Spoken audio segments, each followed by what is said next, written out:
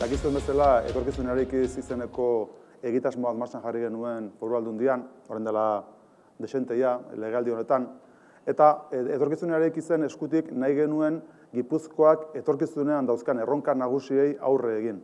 Eta gaina aurre egin, bi mekanismo, bi tresna nagusiekin. Bata da, gobernantza berri batekin, gizartearekin harreman berri batekin, kasu honetan berriro ere ba, kultur eragile ikusentzunezko sektorearekin elkarlanean, e, hori izango litzateke pixkat, etorkizun erik izan aplikazioa ekimen honetara, eta e, biztan da baita ere, ba, esperientzi pilotoak, esperimentazio aktiboa izango litzateke baita ere, ba, bigarren inspirazioa etorkizun ez martxan jartzeko momentuan. Beraz, hausnarketak bai, baina ekintza batez ere nahi dugu martxan jarri. Eta horregatik, laborategi baten e, aktibazio hori edo martxan jartze hori ikusten genuen funtsezko arlo horretan. Ze etorkizuneko erronkari e, aurre egin nahi dio bideok? Ba, guk uste duguna da, gure hizkuntzak e, mugarri bat bizi duela baita ere, bide gurutzea bizi duela Euskarak, bere ibilbidean, eta e, ikusten dugu Euskararen erabilera arloan oso importante direla konsumitzen diren edukiak. Eta geroz eta gehiago ikusentzunezko edukiak, batipat, gazteen, gaztetxoen, eraben ikuspegitik.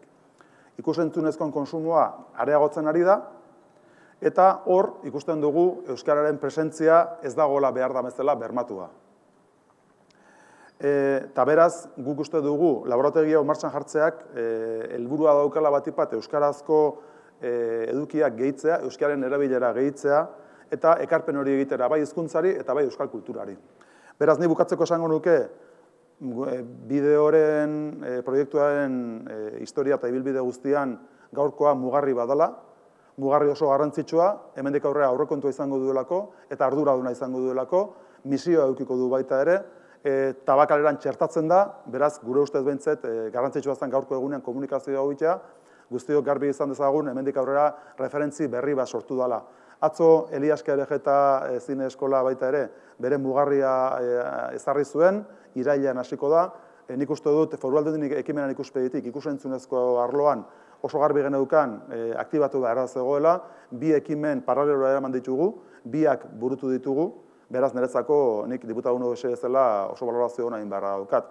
Besteak beste, pertsonalki niretzako izan dalako e, lehentasun bat, ia nere bizi osoan, bizi politiko osoan, uste izan dut e, ikusentzunezkoan atal hori, funtsezko azala gure kulturarentzako eta gure hizkuntzarentzako.